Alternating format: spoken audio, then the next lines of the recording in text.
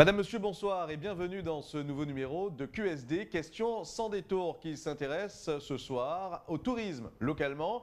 Il faut savoir que ce 27 septembre, c'est la journée internationale du tourisme et pour l'occasion, nous recevons dans cette édition ce soir Olivia Ramoutard, présidente de la Fédération du tourisme de proximité de Guadeloupe. Bonsoir. Bonsoir Monsieur Chingan et bonsoir à l'ensemble des téléspectateurs qui nous regardent. Merci d'avoir accepté cette invitation. C'est vrai qu'on l'a dit, hein, on est dans cette journée internationale euh, du tourisme. L'occasion de faire un point de situation sur le tourisme en Guadeloupe. C'est vrai qu'on a connu deux années, euh, voire trois, j'ai envie de dire, difficiles avec la crise Covid. La période des grandes vacances est passée, on va rentrer dans la haute saison touristique. Comment on pourrait tirer un bilan de la période, on va dire, des vacances, des grandes vacances Alors, très bien. Alors, effectivement, je pense qu'on a eu quand même une saison, euh, une, très, une bonne saison. Parce que c'est vrai que deux années euh, Covid, bon, elles sont derrière nous, c'est vrai. Aujourd'hui, il faut regarder euh, devant nous. Nous avons sorti notre épingle du jeu, en tout cas les hébergements de proximité, les gîtes, les meublés et les villas donc, que je représente aujourd'hui. nous, comptons, nous avons aussi cette clientèle locale qui joue de plus en plus le jeu de, la, de, de, nos hébergements. Et donc, c'est vrai, ce qui nous a permis d'avoir donc une saison très, très correcte. Oui, entre clientèle locale et puis on a vu que la Guadeloupe reste une destination attrayante et vos, mandants ont pu euh, le vérifier dans leurs commandes. Absolument, dans les commandes. Donc nos gîtes euh, donc, ont eu des taux de remplissage euh, assez intéressants. Et, et donc là, aujourd'hui, on pense déjà à prochaine saison. Justement, cette haute saison touristique hein, qui va s'ouvrir, hein, on est dans la période. Euh, si on doit parler de taux de remplissage, c'est peut-être pas le moment de faire le bilan, mais on a peut-être déjà de bonnes perspectives. Alors, des perspectives, il y en a. On ne dira pas bonnes au moment où je vous parle, parce qu'il y a quand même des inquiétudes, je dois avouer. La profession est un peu inquiète avec la notion des prix des billets d'avion qui euh, joue euh, très très très sérieusement sur le choix des vacances. Et, et donc, il y a des questions de budget également. Hein. Donc on sait que le pouvoir d'achat aujourd'hui euh, est en diminution. Et donc aujourd'hui, donc on a cette inquiétude, en tout cas, euh, nous propriétaires, mais nous gardons espoir. Hein. Nous sommes des entrepreneurs motivés et ambitieux et nous, faisons confiance donc à l'ensemble des acteurs pour promotionner la destination. J'allais y venir parce que depuis la création de cette fédération du tourisme de proximité, on parle de, de professionnels du tourisme et non plus de monsieur ou madame un tel qui en faisait une activité annexe.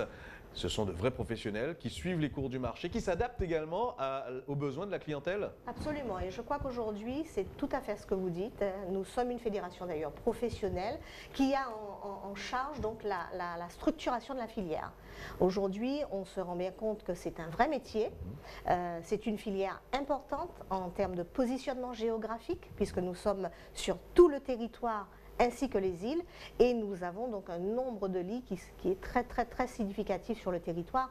D'ailleurs, euh, euh, je l'annonce sur votre plateau, euh, pour la haute saison, nous allons lancer donc une conférence de presse pour montrer à la Guadeloupe et l'ensemble des professionnels du tourisme le poids de cette filière. Un véritable poids économique, un poids de société, j'ai envie de dire également, et pourquoi pas demain, un vrai secteur d'activité qui emploie, qui emploie déjà un certain nombre de personnes à travers tout le réseau fournisseurs, on imagine, de services également que cela comporte. Absolument. Alors c'est vrai qu'on euh, dit toujours que cette filière n'embauche pas, mhm. d'accord?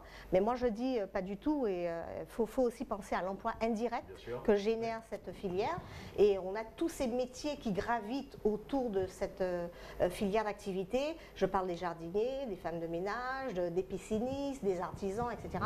Donc c'est vraiment un bassin sur, sur l'emploi comme ça des sociétés, des petites sociétés qui tournent autour de... tout, un, réseau, on a envie de dire. Tout un réseau, et c'est le sens même du travail de la fédération. Qui travaille autour de cette filière. Alors, venons-en, euh, il y a quand même une thématique euh, en ce moment, notamment à travers cette journée internationale euh, du tourisme. On parle de tourisme durable désormais, on parle d'innovation également. Est-ce que les professionnels, euh, les hébergeurs euh, guadeloupéens se mettent à la page, entre guillemets? Absolument, et plus que jamais. D'ailleurs, c'est le sens du travail aussi euh, de la fédération, puisque aujourd'hui, c'est la journée internationale du tourisme, mais nous sommes également dans la semaine européenne du développement durable. Et c'est vrai, on parle même plus de tourisme simplement, on parle de tourisme durable avec des objectifs. Et c'est simple, hein, nous nous focalisons donc sur les thématiques de, l'OMT, hein, de l'Organisation mondiale du tourisme qui incite justement à l'ensemble de ces professionnels donc de, s'adapter, de se mettre au goût du jour de l'innovation et euh, surtout avec des intérêts de protection de la planète, euh, d'incitation à la population donc de, se mettre à ce goût du jour et, vraiment on a ces objectifs de développement durable qui sont très importants et la fédération est sensibilisée par différentes actions. Est-ce qu'on pourrait imaginer demain qu'on tende vers un label d'écotourisme? Spécifique à la Guadeloupe Absolument, il y a déjà des labels qui existent, mais c'est vrai que la fédération réfléchit aussi en ce sens, hein, puisque de toute façon, nous déjà en interne, nous, nous, récompensons, nous félicitons en tout cas euh, euh, les hébergeurs qui ont une longueur d'avance, parce qu'il y en a qui sont très qui avancés. qui ont déjà des systèmes euh, ah, tout à fait écologiques. Complètement, et, franchement, c'est vraiment magnifique de voir ça, parce qu'aujourd'hui, on a, on a des propriétaires qui ont une longueur d'avance sur cette notion de développement durable et qui, qui sont entièrement autonomes. Et donc nous, euh, ce travail que nous faisons, c'est justement de sensibiliser les propriétaires à, aller vers ça en tout cas. Et les propriétaires, c'est une chose, et la clientèle est-elle demandeuse de tourisme de plus en plus vert? Eh bien absolument, parce que justement, on a une clientèle qui est déjà préparée, qui est déjà sensibilisée à, toutes ces, dimensions-là, et qui demande des fois, pendant leur les, réservations, nous demande euh, est-ce que vous êtes équipé en chauffe-eau solaire, est-ce que vous êtes équipé en citerne, etc. Euh, tous les systèmes un petit peu euh, euh, du développement durable. Donc oui, cette clientèle euh, est attractive et en fait est demandeuse. Donc à nous de nous adapter, de nous préparer à, recevoir cette clientèle. Alors tout cela paraît plutôt positif hein, dans l'ensemble. Malgré tout, il y a des sujets qui fâchent. Est-ce que la clientèle s'interroge sur l'adduction en eau potable, sur ce genre de questions, les grèves, malheureusement, des sujets qui peuvent enrayer la machine du tourisme en Guadeloupe? Alors bien sûr, évidemment, parce que ce sont des sujets qui sont connus maintenant et c'est vrai que des fois, euh, au moment de la réservation, on a des clients qui demandent. Euh, mais la Guadeloupe reste quand même attractive. Les Guadeloupéens sont accueillants et je dis toujours, euh, le propriétaire de gîte est le premier ambassadeur qui va donc rassurer et, convaincre donc la clientèle donc de, venir chez l'habitant, de venir voilà partager ces moments, ces moments de vacances. Alors, pour, parce qu'on parle d'actualité, vous parlez de rassurer également. Alors, localement, on parle malheureusement assez régulièrement de faits de violence, mais qui concernent peut-être une partie de la population. Est-ce que ça aussi, c'est un sujet qui interpelle le client Le touriste vous pose la question euh? Alors, il y en a qui posent la question, surtout les clients qui viennent pour la première fois en Guadeloupe. Parce que c'est vrai que quand on voit des sujets euh, où il, faut, il focalise sur un sujet, mhm. on sait très bien que peu importe où on va, quel que soit le Oui, ça casse l'image. Mais justement, je, redis, hein, nous propriétaires, c'est à nous donc euh, de rassurer cette clientèle et de leur dire oui, ça existe, mais bon, voilà, ça n'empêche pas euh, de venir en Guadeloupe et euh, de respecter certaines conditions, certaines règles. Et nous sommes là pour les aiguiller et pour les conseiller. Alors, cette fédération du tourisme euh, a été montée il y a deux ans, un, peu plus. un, peu plus, un peu plus, aujourd'hui. Avec combien d'adhérents? Aujourd'hui, on frôle les 400 adhérents. Un vrai poids, on l'a dit, économique, mais un vrai poids peut-être décisionnel. Quelle est la place de la FTPG dans le concert économique touristique de la Guadeloupe? Je veux dire au sein du CTIG, par exemple. Alors, c'est la question est très bien posée parce qu'effectivement, ça a été euh, euh, ce point que nous avons euh, travaillé dès, le démarrage de la fédération, puisqu'on s'est rendu compte que nous n'avions pas la voix des petites structures au sein des institutions. C'est chose faite aujourd'hui. En tout cas, nous sommes, nous sommes invités à, l'ensemble des discussions dès lors qu'il s'agit de tourisme.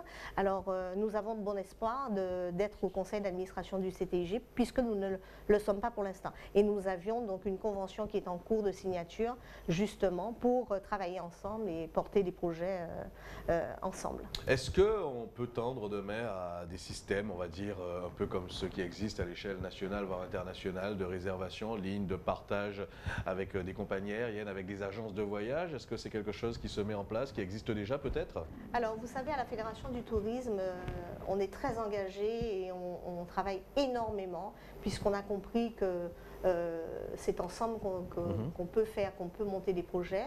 Et je peux vous dire que nous travaillons, nous avons une commission d'ailleurs qui travaille euh, essentiellement sur la visibilité de nos adhérents euh, à l'extérieur, au national et à l'international.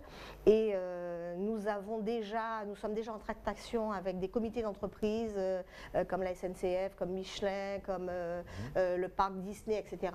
Et notre objectif, c'est vraiment d'apporter ce plus également à nos adhérents.